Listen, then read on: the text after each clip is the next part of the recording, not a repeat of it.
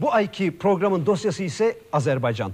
Azerbaycan adeta patlamaya hazır bir bombaya benziyor. Patladığı takdirde de Sovyetler Birliği'ni darmadağın edebilecek bir bomba. Ayrıca bizim yanı başımızda ve bizim soyumuzdan gelen bir toplum. Geçen ay Azerbaycan'daydık. Şimdiye kadar görülmemiş olaylar yaşanıyor. Duyulmamış sözler ediliyor. Heyecanlar doruğunda kızgınlık dolu hiddetli gözü kara bir toplumla karşı karşıya kalıverdik. Adeta köprüler atılmış, kılıçlar çekilmiş ve günler sayılıyor.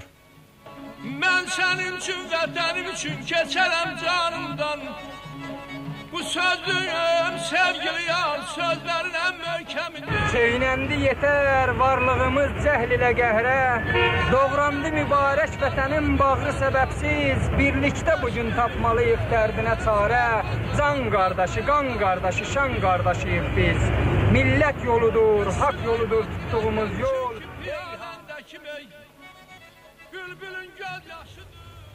Azerbaycan'a geldiğiniz zaman halkın heyecanını hemen hissediyorsunuz. Sokakta kimle konuşursanız konuşun hemen ilk verdiği söz biliyor musun buralarda neler oluyor şeklinde. Gerçekten Azerbaycan kaynıyor ve Azerbaycan'ın kaynaması da Sovyetlerin birliğinin sarsılması anlamına geliyor. Bugün Sovyetler Birliği'ndeki en önemli gelişme ve herkesin en büyük dikkatle izlediği yer burası. Başkent Bakü ve bu meydan Lenin Meydanı.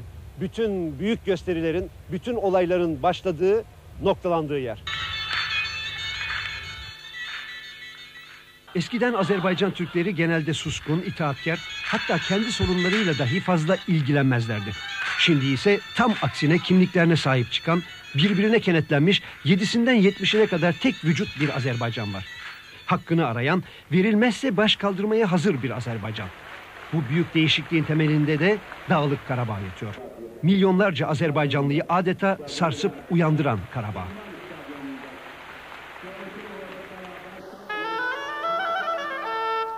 Azerbaycan 6 milyonluk nüfusuna karşılık başta petrol olmak üzere pamuk, tütün ve tarımı ile Sovyetler Birliği'nin en zengin cumhuriyetlerinden biri.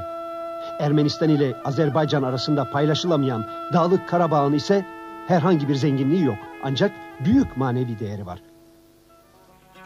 Torpağın sinəsində nəğmə kimi qaynayan, süd kimi təmiz buz bulaqların gözündə açılır bu yerlərin yazı. Bar bərəkət ətirində, birilik yaz havasında torpağın canı qızır. Düzü dünyanı gün işığı tutduqca bu dağların bəyaz zirvəsinə xal düşür.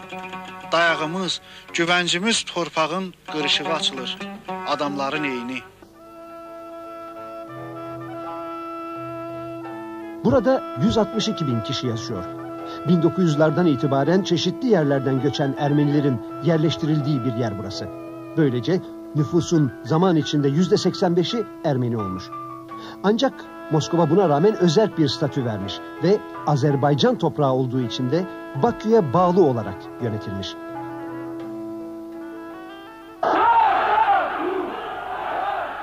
Olaylar 1988 yılından itibaren bir çığ gibi büyüyerek gelişti. Ermeniler sonradan gelip yerleştikleri bu toprakların atalarından kaldığını, büyük dini ve manevi değeri olduğunu ileri sürüp Karabağ'ın kendilerine bırakılması için bayrak açtılar. Olaylar sadece gösteriyle kalmadı. Ermeniler saldırıya da geçtiler. Karabağ'da Azeri Türklerinin evleri taşlandı, arabaları yakıldı ve Ermenistan Cumhuriyeti'nde yaşayan 170 bin Azerbaycanlı kovalandı. Sonunda Moskova müdahale etti. Yönetimi Bakü'den aldı ve özel bir komiteye verdi. O ana kadar gelişmeleri sükunetle izleyen Azeri Türkleri Karabağ'ın Bakü'den alınıp özel bir komiteye verilmesi, ardından olayların sürmesi ve Ermenilerin baskılarının arttırılması üzerine tam bir yıl önce 1988'in aralığında birdenbire patlayıverdiler. Hər an o gözəl sinəni xəncərləyir ellər, imdadına satmazsa qəgər, məhvi müqərrər, zülmün topu var, gülləsi var, qələsi varsa... Mən Ermənistanda doğulmuşam. Mənim babam 1905-də qaçıb. 18-20-də atam atamı qovalayıblar. İndi də özümü qovalayırlar. İki ildə Azərbaycan xalqının rahatlığı yoxdur. Ona görə ki, Azərbaycan torpağının tacı olan Qarabağ ömür boyu düşmənlərin bir növü yağlı tikəsinə çevrilmək istəyib, çevirmək istəyiblər.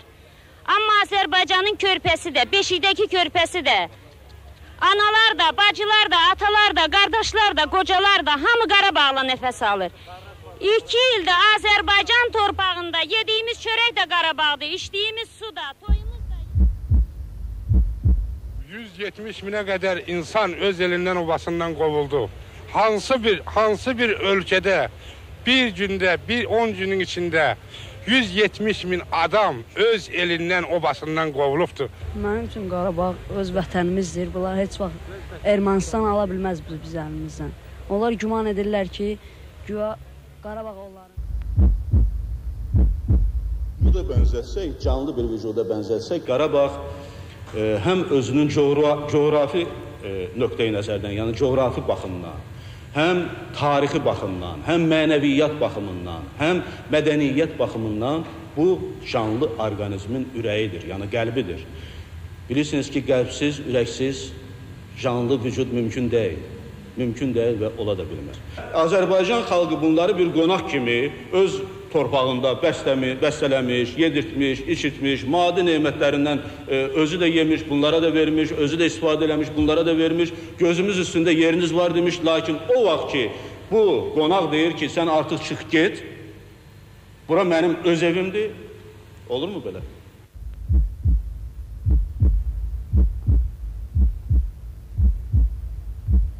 Artık ok yaydan çıkmıştı. Artık tek tutku, tek düşünce Dede Yadigarı Karabağ'ı geri almaktı.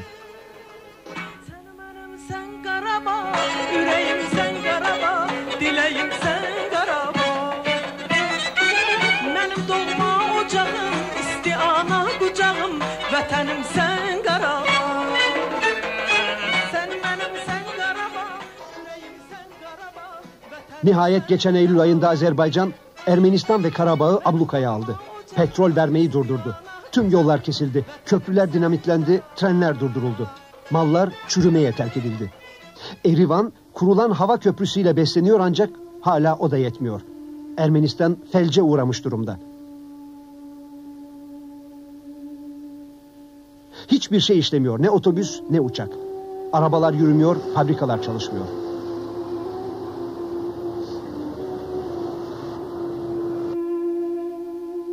Ermənilər Azərbaycan petrolunu 70 ildə bütün Sovet xalqı kimi son dərəcə geninə boluna işlədiblər. Yanacaq kimi istifadə ediblər, evlərini qızdırıblar, maşınlarını, arabalarını siz deyirsiniz Türkiyədə, arabalarını sürüblər, təyyarələrini sürüblər. Azərbaycan yanacağı ilə qatarları gedib və s. və. Bu fəhlə nədir? Bu fəhlə deyir ki, axı mən bu torpağımın neftini çıxardıb verirəm e, Ermənistana. Erməni ekstremizmi bunun sayə bununla mənə qarşı mübarizə aparır. Bununla mənə qarşı, mənim xalqıma qarşı mübarizə aparır. Amma mən bunu eləmirəm. İki cumhuriyet arasındaki sinir boyunca da silahlı çatışmalar hala sürüyor. Durum Karabağ'da daha da tehlikeli. Moskova tarafından atanan özel komisyon bir an önce çözüm bulunması gerektiğini açıkladı. Sokağa çıkma yasağına rağmen her an bir iç savaşın patlamasından korkuluyor. Ekonomi de tamamen durmuş vaziyette. Azerbaycan Karabağ'ı tutsak tutuyor. Ermenilere bırakmamakta kararlı.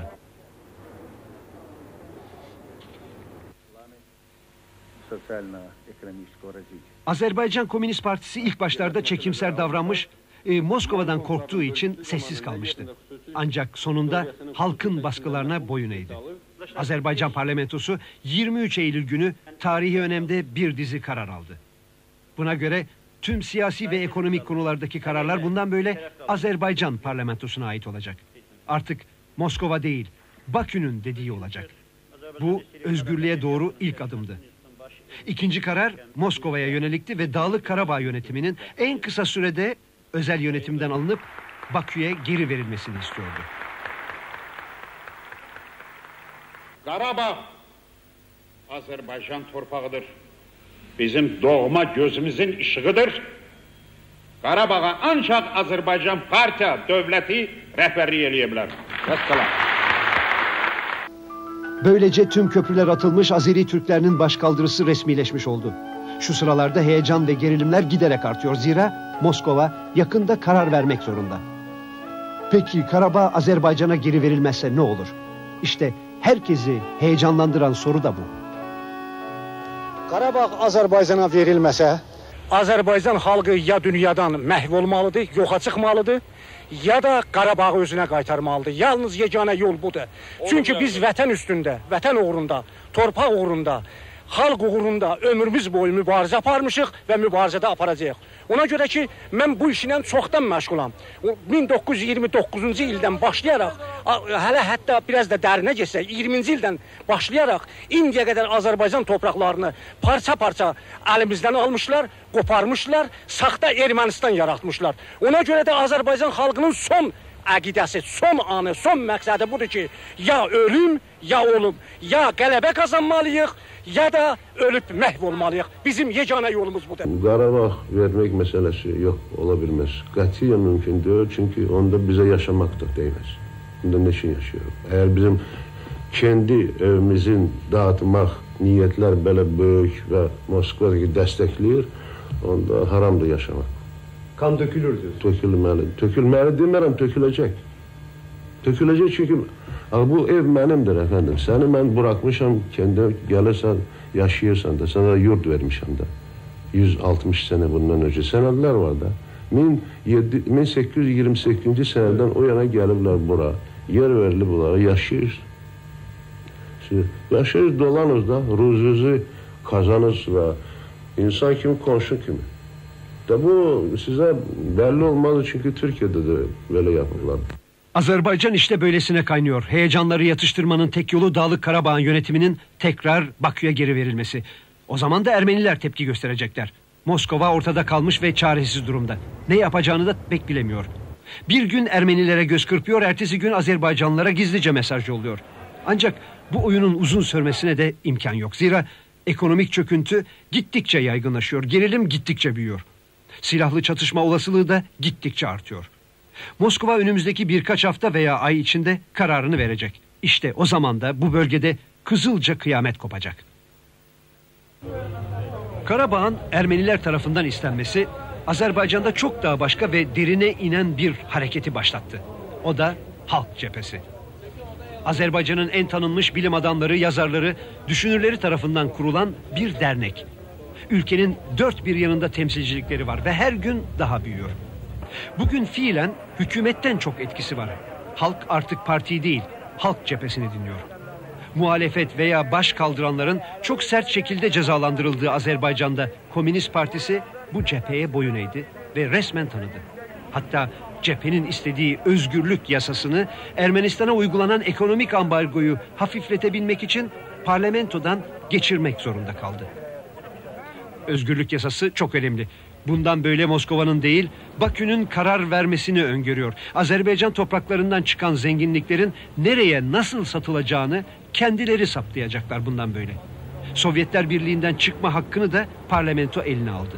Ve bütün bunları da cephe parlamentoya adeta dikte ettirdi. Bağımsızlığa doğru ilk ve en önemli bir adım atılmış oldu. Halk cephesi Karadağ sorununun üzerine inşa ettiği milliyetçilik hareketiyle Azerbaycan halkını arkasına almış halen yürüyor. Eğer Sovyet Cumhuriyetleri Birliği'nin kalbi Azerbaycan'da atıyorsa Azerbaycan'ın kalbi de burada atıyor. Burası halk cephesinin e, merkezi.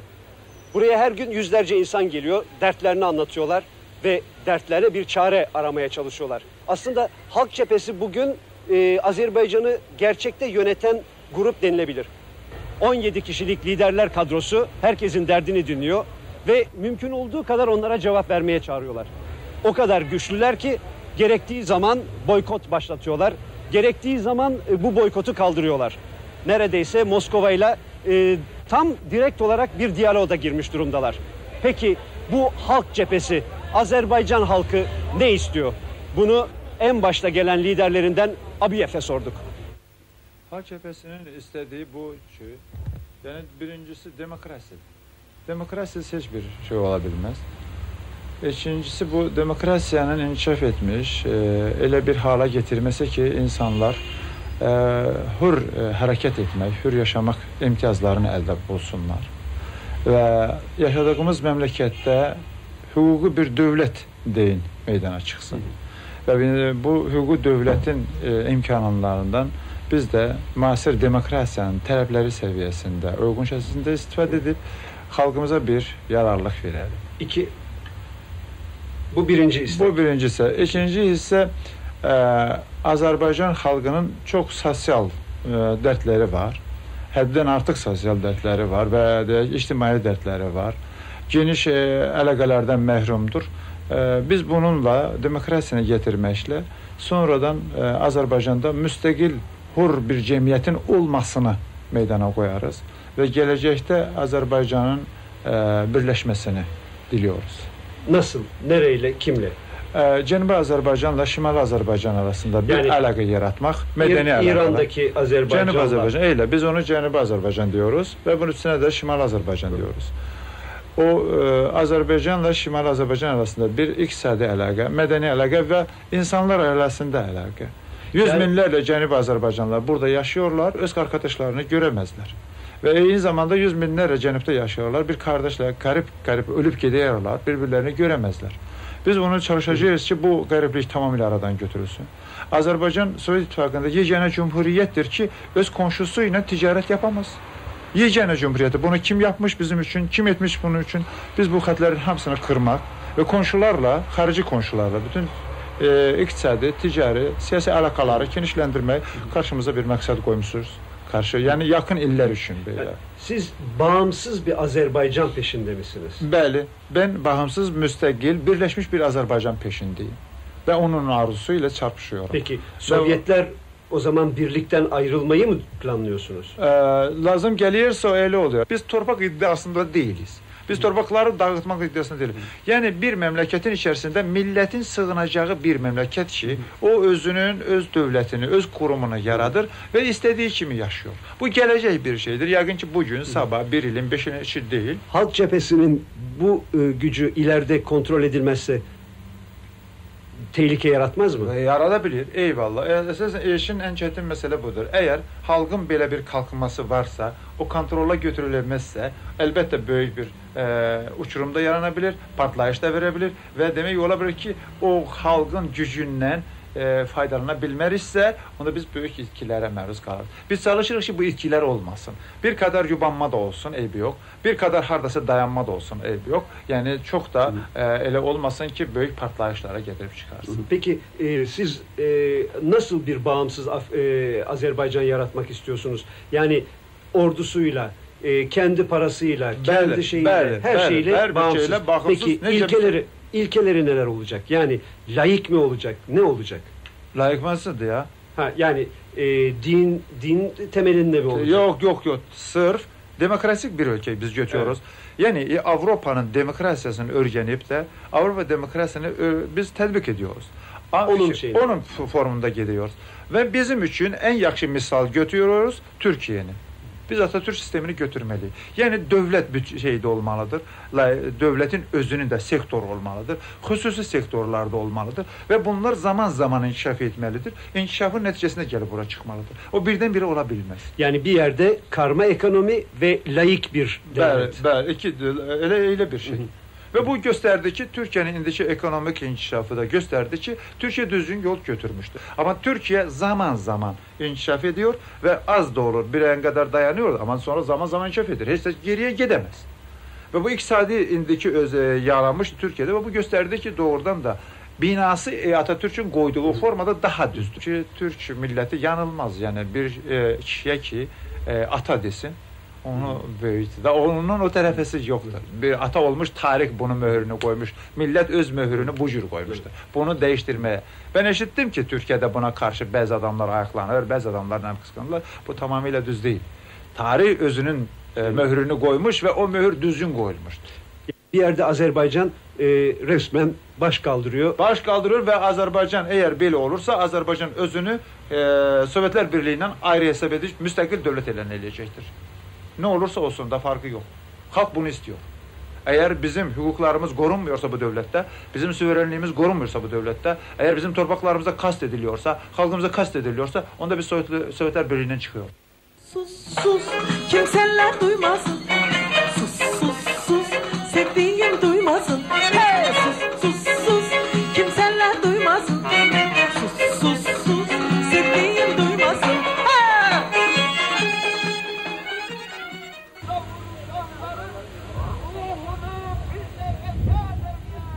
Azerbaycan'ın bir resmi bayrağı var ancak şimdi bütün meydanları 18. yüzyılda yaşayan Azerbaycan Demokratik Cumhuriyeti'nin eski bayrağı süslüyor.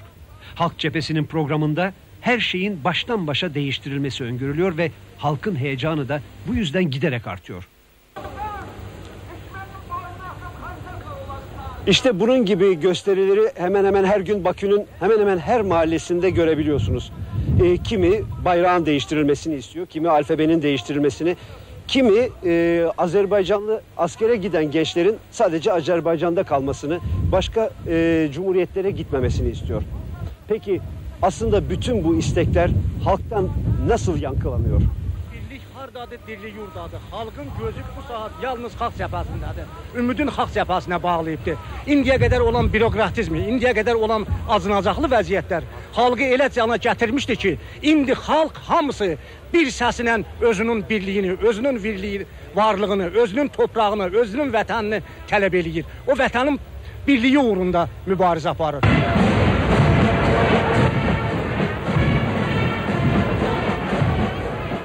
Buradaki tüm konuşmaları duyunca insanın aklına ister istemez Moskova'nın bu gidişe tepkisi ne olur? Acaba suskunlukla seyreder mi yoksa bir gün sert şekilde bastırır mı sorusu geliyor. Kime Moskova'dan korkuyor musunuz dedimse hemen hemen aynı tip yanıtlarla karşılaştım. Moskva ne için korkmalıyım? Moskva ne edebilir bana? Çok olsa da beni hapseder. Həbs etmekten de ben korkmuyorum. Bir defa həbs olunmuşum değil. Bir iki defa həbs olunmuşum. Bir üç defa da olsam eybi yoktur. Peki askeri bir tepki gösteremez mi? Askeri tepki kime gösterebilir? Ya halk ne etmiş ki ona askeri tepki gösterir? Biz e, hak talep hukuk talep ve mua indiki demokrasiyanın talepleri seviyesinden biz çıkmıyoruz ya. İndiki demokrasiya ki gedir. Yani eğer Gorbaçov deyirsə demokratikleşme lazımdırsa biz demokratiyasını belə anlıyoruz. No, ne elerler onu? Niye kırarlar burada bir neçe yüz, min nefer, iki bin nefer sonra? Sonra bütün halkı kırabilmezler. Var bu meyiller birinci defa değil de. Mesela Stalin'in vaktinde 48. yılda e, böyle bir teşebbüs vardı ki 1 milyon Azerileri Sibirya geçirsinler. Bizim o geçmiş ba- e, zaimiz Mircefer Bagırov koymadı. Bütün bunlar halkın beklentileri, sokaktaki insanların heyecanları. Tabii bu gelişmeleri geri planda seyreden, etkinliği çok azalmış görünen Komünist Partisi'nin bu binasında ise hemen hemen hiç heyecan yok.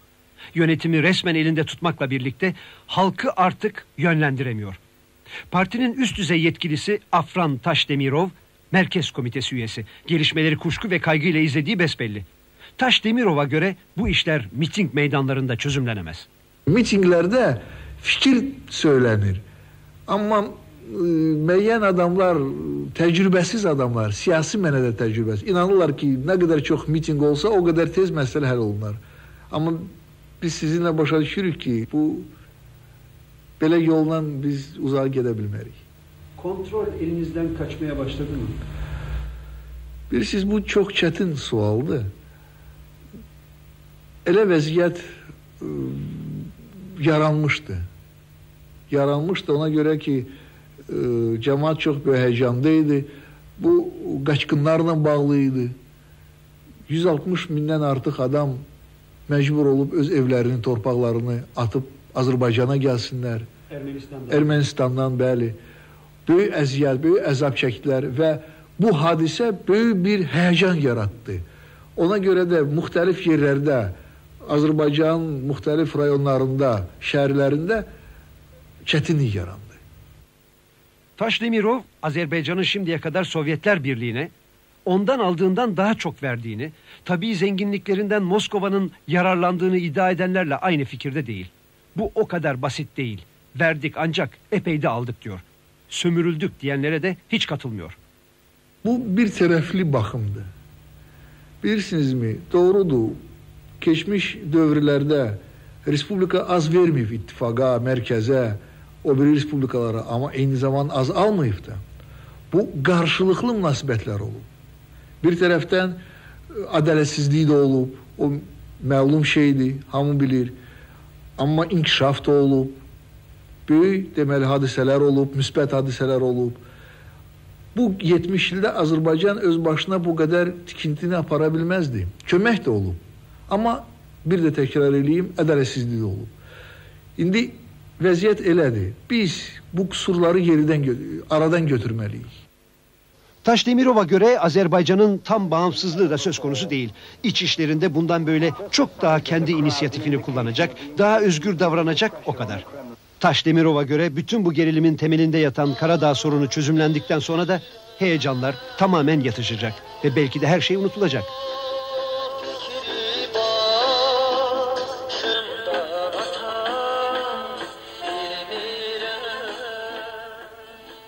Bütün bu insanların içten gelen bir sevgiyle baktıkları ülkelerin başında da Türkiye geliyor. Türk basınında çıkan her yazı, Türkiye radyolarında dinledikleri her haber onları duygulandırıyor veya kırgınlığa, küskünlüğe itiyor. Art düşünceleri olmadan, kendi kimlik ve kişiliklerinden bir şey vermeden Türk olan her şeyi ve herkesi kucaklıyorlar. Türkiye'den ne bekliyorsunuz? Türkiye size nasıl yardım edebilir diye sorduğunuzda da şu yanıtla karşılaşıyorsunuz. Biraz ilgi, biraz sıcak nefes. O kadar. Diyor ve hemen ekliyorlar. Bizim sözcümüz olun. Dış dünyaya bizim haklı olduğumuzu anlatın. Bu erməni çətələrinin saldırısı e, tək Azəri türklərinə qarşı deyil. Bu bütün Türk dünyasına qarşı bir haincəsinə saldırı. E, kanımca bütün Türk dünyası buna kəsin bir təpki göstərməlidir. Ədəli əfəndi, şəxsən sizdən bir xahişim var. Türkiyə xalqına mə- mənim salamımı yetirin, həm də böyük Atatürk'ün, Türkiyə xalqının böyük oğlu Atatürk'ün məqbərəsini bizim adımızdan ziyarət edin. Şimdi tabii en çok sorulan soru Azerbaycan nereye gidiyor? Acaba bu alınan kararlar, özgürlük istemleri ve halktaki büyük heyecan Azerbaycan'ı hangi noktaya doğru götürüyor? Bu konuda şimdiki halde herkesin kendine göre bir fikri var. Ancak kesin olarak yanıtı kimse tam veremiyor.